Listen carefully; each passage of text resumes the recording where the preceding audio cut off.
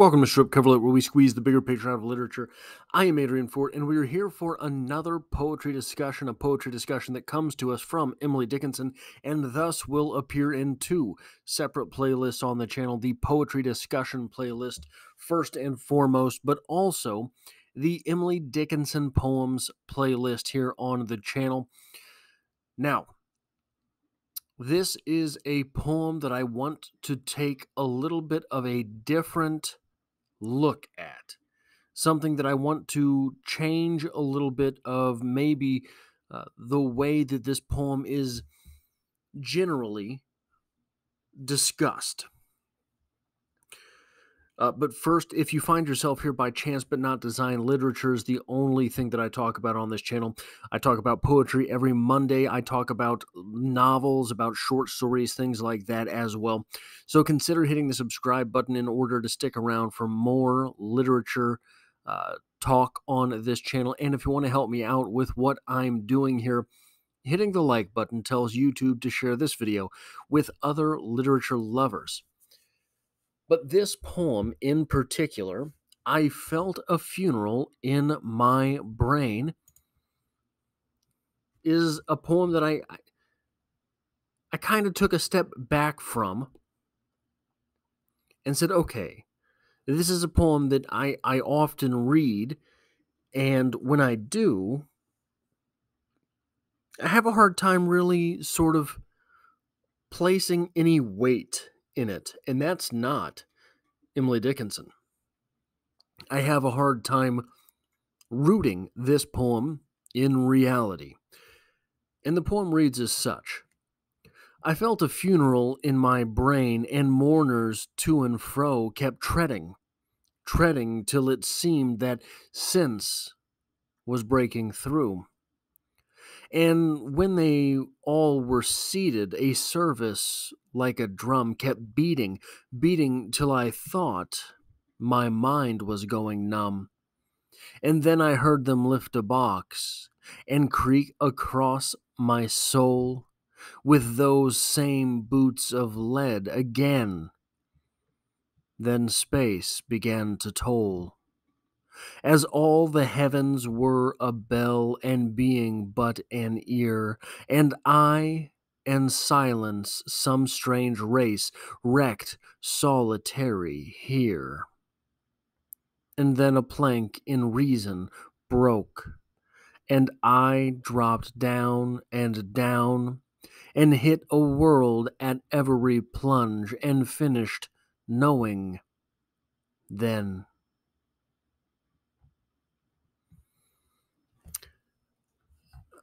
And here's where I really want to I really want to concentrate this discussion.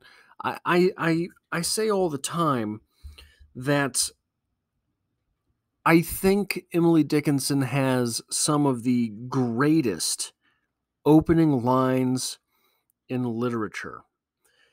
And I stand by that. I really think that that is true.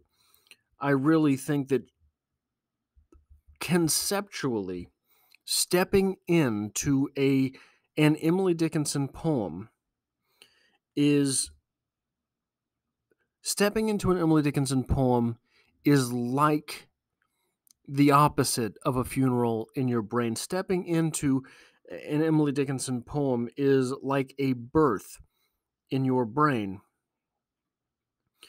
Um,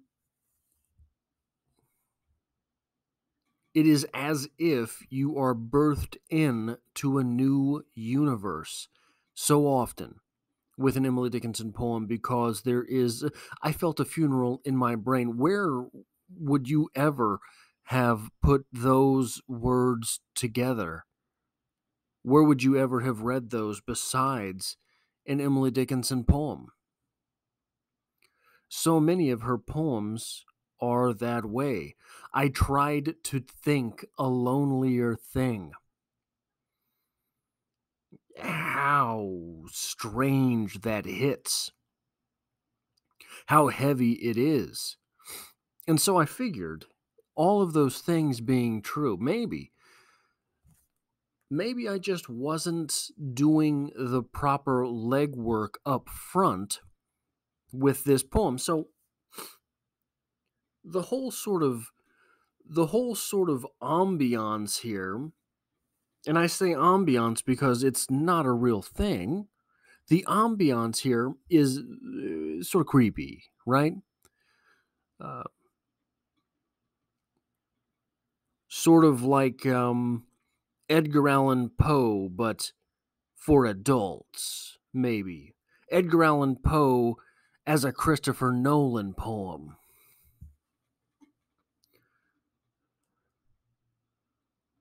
So maybe the reason I, I don't really get as much weight with this poem as many others is because I'm not rooting it in reality. And to root it in reality, to really have some stake here, some real world stake here.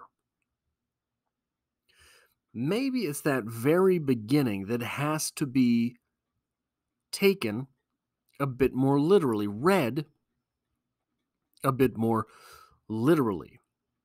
I felt a funeral in my brain. Oftentimes, this is conceptualized as our speaker is dead and our speaker is um, feeling the living world around her. What if that's not the case? What if all of this is taking place inside Emily Dickinson's mind, inside of our, I shouldn't say Emily Dickinson, inside our speaker's mind? And what would that mean? To feel a funeral in your brain. Well, couldn't that just be the death of some concept of the self that one had? So, for for instance, if we were so removed from the argument, from the process, so removed from the emotions involved, mightn't a particularly devastating breakup feel like a funeral, a, a piece of the concept of you that you have has died? Mightn't that feel that way? A concept you had for yourself is dead, is gone, is past and all of the other concepts that you have of yourself because we are all multiple we are all multiple to the self we are all what's the the the, the lyric from the verve i'm a million different people from one day to the next um shout out to 1996 um we are all that way. We are all multiple. We are all many different things inside our own head. I am a different person in front of this camera than I am in my workplace. I am a different person here than I am when I'm getting my miles in every day. I'm a different person while I'm getting my miles in than I am while I am doing lifts, even different types of trying to lose weight, trying to be more fit, have me in different mindsets. There are moments where in life where we have to reconceptualize the self. And one of these things dies. For, for instance, myself, there was a moment when I had to stop considering myself the power lifter I used to be rocked up. I used to be jacked. Had a six pack, the whole thing, man. There was a moment where I realized, oh, I don't need to train like that anymore. I have to lose this beer belly that I've found a way to accumulate. that guy in my brain, which did all of the fit guy things, had to die for me to get that was very difficult to wake up and realize you're the chubby guy. When you had been the six pack guy.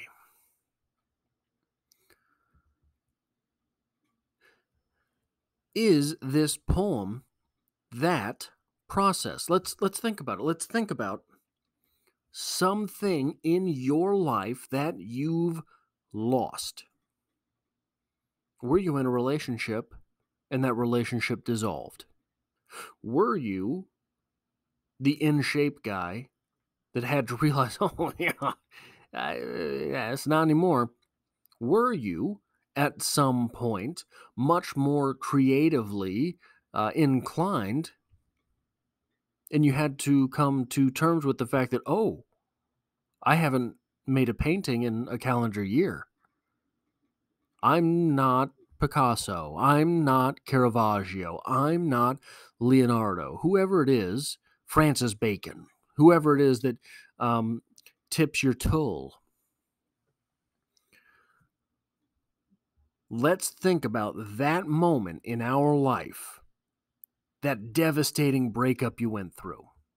And read this poem one more time. With that concept of the person who was in the relationship has died in your mind, and the rest of you has to find some way to go on. I felt a funeral in my brain, and mourners to and fro kept treading, treading, till it seemed that sense was breaking through.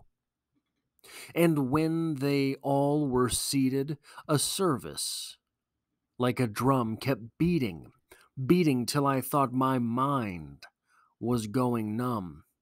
And then I heard them lift a box and creak across my soul with those same boots of lead again. Then space began to toll. As all the heavens were a bell, and being but an ear, and I and silence, some strange race wrecked solitary here. And then a plank in reason broke, and I dropped down and down, and hit a world at every plunge, and finished knowing. Then, this then, at the end, suggests there's something next.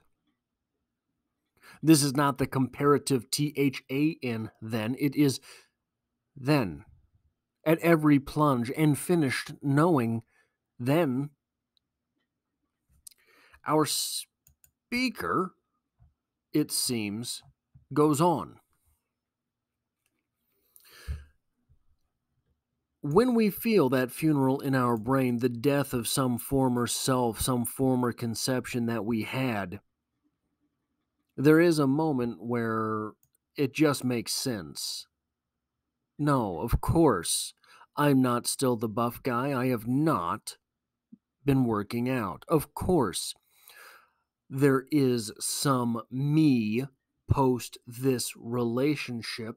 There had been a me prior to it. Of course, I am not the world renowned painter that I thought I would become. I simply haven't dedicated a moment of my life to it. And when all of these other conceptions in my mind are there, looking at this dead idea that I had of myself, the realization is almost mind numbing.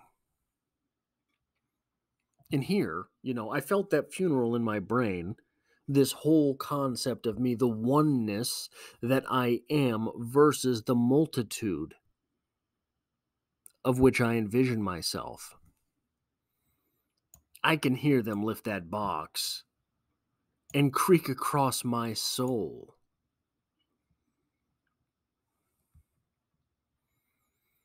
As all the heavens were a bell, and being but an ear and I, and silence because silence is where we really deal with the self. And then a plank in reason broke, of course. Of course, this is the case. Of course, this is the person that I have become. Of course, that part of me is no more. It's not reasonable to expect it to still be here. And I dropped down and down. You don't just get to mourn that previous self. You have a little piece of you has to die with that death and hit a world at every plunge. I saw every stage of that relationship as I was letting it go. How stupid was I? I thought about every delicious beer that I drank to get this beer belly along the way. And at every plunge, at every plunge, and finished knowing. And finished knowing. Hey, what do I know? What do you know? Even about yourself, even about myself. What do you know? Then, well, we all have to go somewhere and we all have to get there at some point.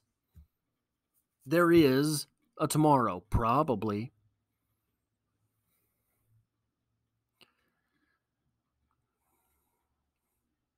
Probably if you're thir- if you're 20 years old, you've lived 7,000-ish days and they've all had a tomorrow. If you're 30, uh, you've lived uh, 10,000-ish days and they've all had a tomorrow. Then Emily Dickinson is tempting us tempting us to look forward. That is all I have for this poetry discussion. If you enjoy what I do here, hitting the like button really helps me out here on this channel. It tells YouTube to share this video with other literature lovers so that we might be more multiple on the channel. And if you find yourself here by chance but not design, literature is the only thing that I talk about here, and I hope to have you back for the next one.